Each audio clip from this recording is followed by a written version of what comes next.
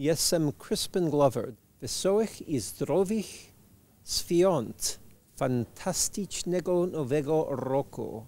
To będzie rok Hiszpanki. Zapraszam do kina.